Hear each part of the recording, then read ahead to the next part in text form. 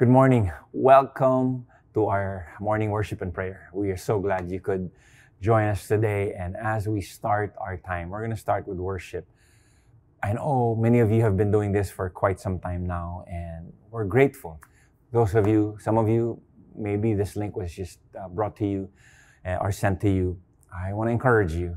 Uh, the first part is not just uh, parang front act.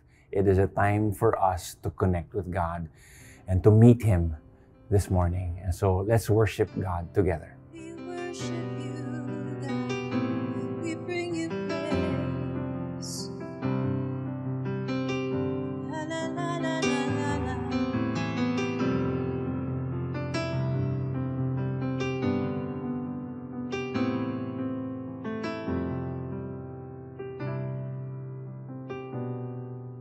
May your praises live in every word we speak. And with every gift of breath, we breathe you in. All the works that you have done consume our hearts. Who in all the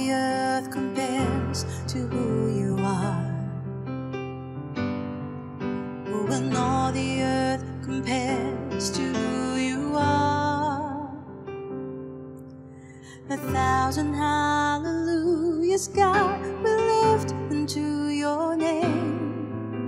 A thousand hallelujahs, God, we lift up once again.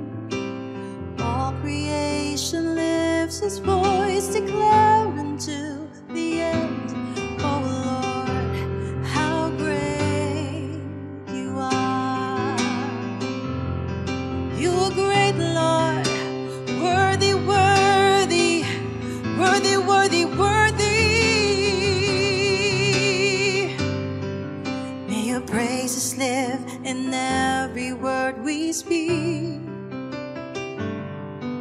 And with every gift of breath, we breathe you in. All the works that you have done consume our hearts. Yes, Lord. When all the earth compares to who you are?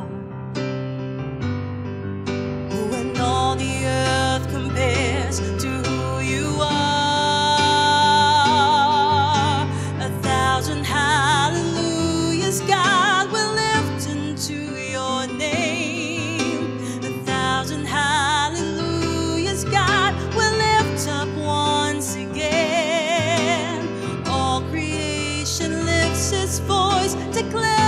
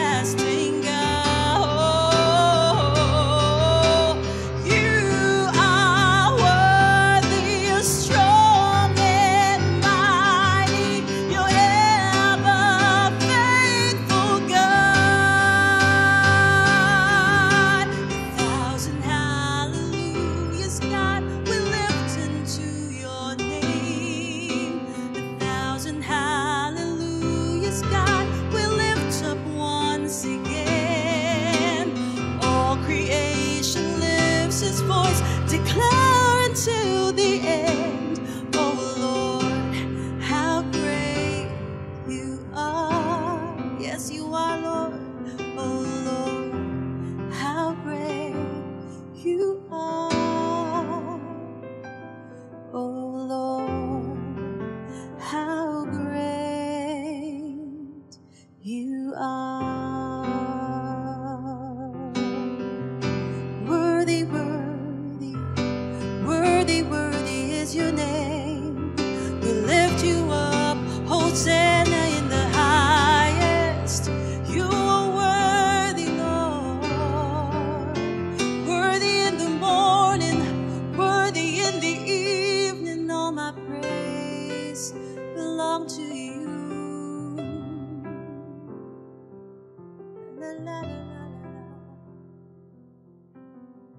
Once again, welcome to our morning worship and prayer. We are currently going through the book of Psalms, but this time, as we go through it, we're focusing on the theme of abide, right? And so the Psalms, when you think about it, it's a collection of lyrical poems. Uh, one of the only two Old Testament books to identify as the composite work of, of multiple authors. Proverbs is actually one of those. David wrote many, uh, and uh, but the others that wrote the Psalms were Asaph, the descendants of Korah, Solomon, a little bit, Ethan, Heman of uh, the heights, And these uh, psalmists would express their emotion of uh, their emotions, whether that's uh, joy or sadness, lament. Um, they're upset. Uh, they're upset with their enemies, sometimes even upset with God. And that's how beautiful the Psalms are because you can be raw with your emotions with God, that you can actually pour out. And, and let me say this before we continue that if you have something that is in your heart, number one, God already sees and knows what's in your heart. Number two, you can pour it out to God. God is never intimidated. I'll say that again. God is never intimidated by whatever's in our, in our hearts. He's God. He's Lord. He's sovereign. And so much of the psalmist would write about uh, worship, as I said, maybe lament also. But it shows the journey of the characters who have uh, written the Psalms and how their relationship with God was like. We see how they've struggled through their challenges and all that. We see also how they continued to, uh, decided to continue to remain in the presence of God and to continue to walk with God in spite of the challenges that they went through, right? And that essentially is what it means to abide, to remain, to continue, to stay. Some of you, that's the calling of the Lord. Stay. That's the calling of God in your life right now, or the challenge. Remain. And some of you watching right now, maybe you're in a point of giving up. You're in a point of the brink of letting go of your faith. It's not an accident that you're watching this right now. God is here speaking to you, even through a video. Yes. He says, hold on. Don't let go. Don't stop trusting Him. You see, when we look at the plant, the branch that abides remains connected no matter what strong winds, intense rain, severe heat. In Psalm 19, I'm going to look at the few verses, but in Psalm 19, we're, we're told here that it was written by David, declares the glory of God in the, in the first verses, right? Uh, the heavens declare the glory of God. Uh, and the, the sky above proclaims his handiwork. That's what the psalmist was saying. And then from there, you'll notice it moves to the sufficiency of scriptures that from the glory of God in the firmament, in the heavens, it zooms in to the Word of God, the tool and the manner by which you and I can remain, the manner by which we can stay. And listen, I know it's been said multiple times, but there is really no other truth other than if we remain in His Word, if we stay connected to the Scriptures. That's the fuel for the, the fire uh, in your walk with Jesus. And the Word of God is important uh, as we continue to abide. Why is it important? Number one, it revives our innermost being. In verse 7, we're told that the law of the Lord is perfect, reviving the soul, right? That's what the scripture says. It, it is perfect. It is blameless. It is stable like a rock. And the word, the word that was used in Hebrew, perfect, means whole and complete. That's so beautiful. Whole and complete. It's not incomplete. It's not with flaw. It's not um, lacking in something. It is whole. It is complete. The Old Testament scholar, one test, Old Testament scholar says, it is all sided so as to completely cover all the aspects of a thing. That's how powerful and complete the Word of God is. It lacks nothing. It is all a person needs to live successfully in this world. It's, it's what we need every day. And listen, the Word of God, it was written thousands of years ago, but it is still relevant and applicable to this day. The Word of God revives our innermost being, the Bible says. And to revive means to restore, to refresh, and even to transform, right? That's what the Word of God does. It restores. When you're, those of you who are watching today, you're worshiping with us today, and you feel broken up inside, whether because of what's happened in the office, or maybe it's a relationship issue in the family. And it's like, uh, well, the Lord of God, the Lord God can restore. He can restore your soul. He can refresh your soul, your soul, and even transform the way you think, your perspective. God's word restores our spirits when we're in despair, when we're down, when we face adversity. Um, Psalm 119 and 165 says, Great peace have they who love your law, and nothing can make them stumble. Listen, when you have God's word in your life, when you hold on to God's word, it's like standing on the rock. You know, when there's there's shaking, you want to be standing on something that is unshakable. I know there must be someone today watching this, and your situation is quite, it, it shakes you. And you know for a fact that apart from an outside force, you yourself cannot keep yourself secure and stable. Not only that, the Word of God also makes us wise. In verse 7 and verse 8, the law of the Lord is perfect, it revives the soul. The testimony of the Lord is sure. Look at the next one. Making wise the simple. Making wise the simple.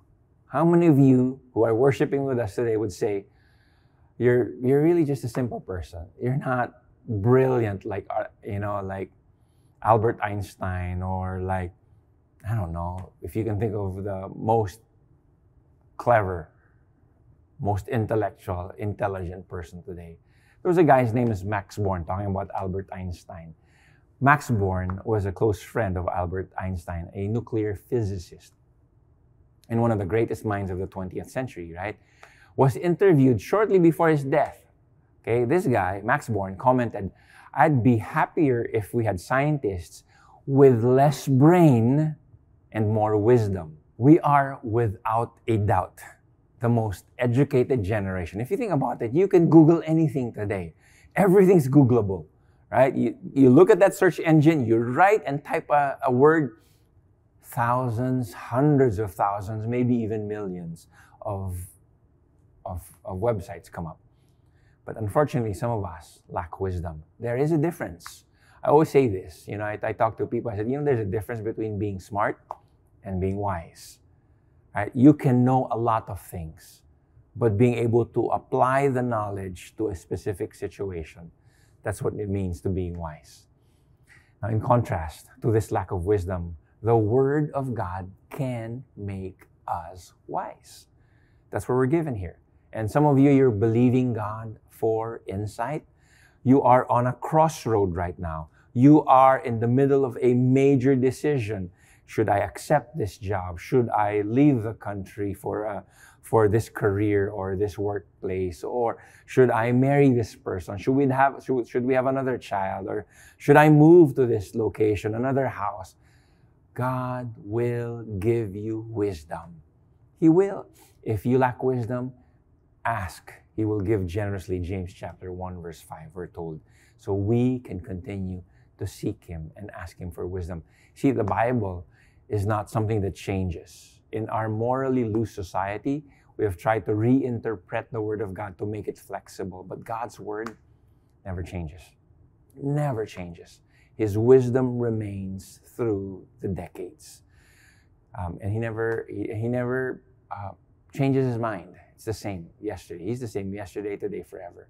And Scripture takes the one, okay, uh, who does not know right from wrong and brings uh, to that individual the wisdom of God. The word is wise. And the word wise, okay, the word of God is wise. It gives wisdom. And the word wise in Hebrew language means to be skilled in the art of godly and practical living. Isn't that beautiful? To be skilled in the art of godly or practical living. It's really nice. That's what wisdom is. Because you and I today need insight and to be skilled. What it means to live for God and how to be able to give pleasure to Him. Like what Paul said, I, I, I desire nothing else but to bring Him glory, to be able to bring pleasure to Him. Third thing, it brings joy to our hearts. In verse 8, look at this. The precepts of the Lord are right, rejoicing the heart. Rejoicing the heart. And the commandment of the Lord is pure, enlightening the eyes. You know, the message version says, the life maps of God are right, showing the way to joy. It's not nice. Showing the way to joy. What do people really want out of life? They want a sense of wholeness, a sense of, a sense of contentment, a sense of belonging, right?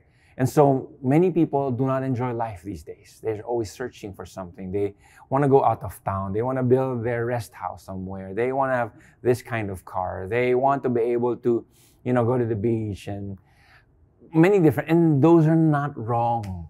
But if they remain to be our only source of joy, it's insufficient. It really is you will always be, we will always be searching for something that will bring peace and contentment. But as Peterson said in the message version, God's life map brings joy to life, right?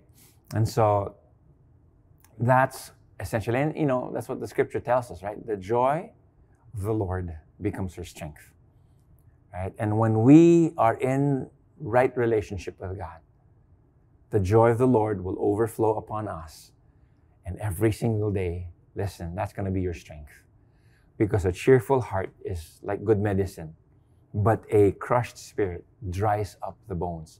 And so when, when there's the joy of the Lord overflowing in our hearts, you wake up, there's spring in your legs, spring in your step. Like you get out of bed and it's like you can jump out of bed and say, I'm excited about today. Why does it bring us joy? It is because it tells us about God's great love and great redemption. It tells us about the Savior's love. It tells us that God will go to any length to restore us with a right relationship with Him. And finally, it gives us guidance. Verse 8, and I'll end with this one quickly. The precepts of the Lord are right, rejoicing the heart. The commandment of the Lord is pure, enlightening the eyes. The commandments of the Lord will give light to the darkened understanding it'll give guidance. And some of you here today, it's, it seems like there's darkness that surrounds. And it seems like uh, you can't go very far because you can't see very far. David refers to the Word of God as commandments. The Bible is not full of suggestions, but they are authoritative commandments. Why? Because it is written by the lawgiver. Why? Because the lawgiver is also the creator the one who sees the beginning to the end. And these truths are not negotiable, not approved or unapproved by popular vote. God tells clueless people what he expects of them. Men and women are the most intelligent of all God's creation, but sometimes, believe it or not, we still act foolishly, which is why we need God's word.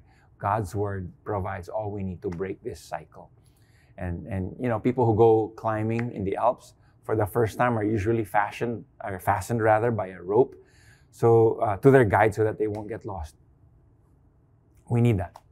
We need to be fastened to God by the Word of God, so that when we go through the darkest of caves, if we go through the highest of highs and the lowest of lows, we can say, Your Word is a lamp unto my feet and a light unto my path.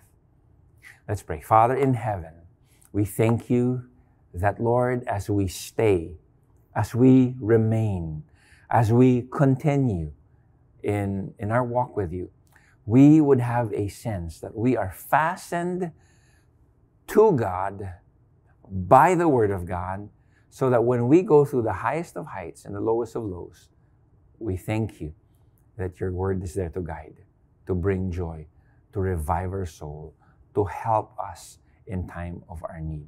Thank you, Lord. And some of you here today, you're believing God for wisdom and you're in a crossroad. I want to pray for you right now.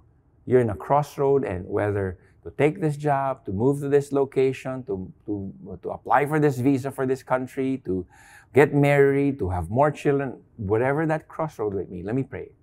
That might be, let me pray. Father, I pray in the name of Jesus. You said you're going to show it to us. Lord, if we lack wisdom, you'll give it generously without finding fault. And as we abide, Lord, as we stay and remain, we will see that you will bring revelation. Let there be revelation even now. In the name of Jesus, we pray. Amen. Amen. You are mighty, ever faithful God. You are holy, strong,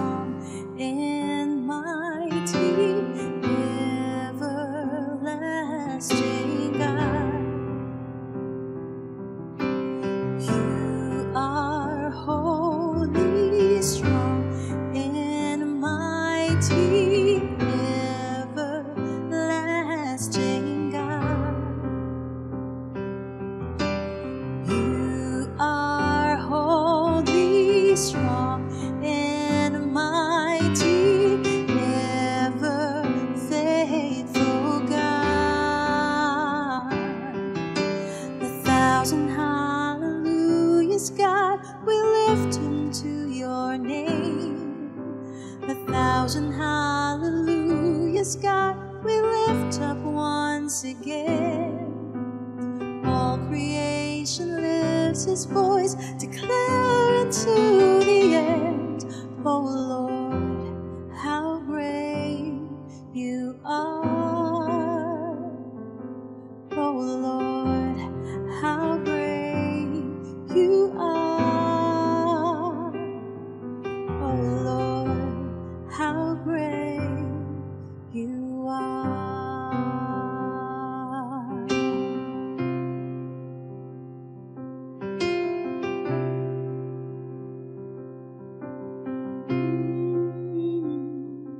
Let me close this in prayer and let me share this with you. May God Himself, the God of peace, sanctify you through and through. May your whole spirit, soul, body be kept blameless and at the, at the coming of our Lord Jesus Christ. The one who calls you is faithful and He will do it. God bless you. Have a great day ahead.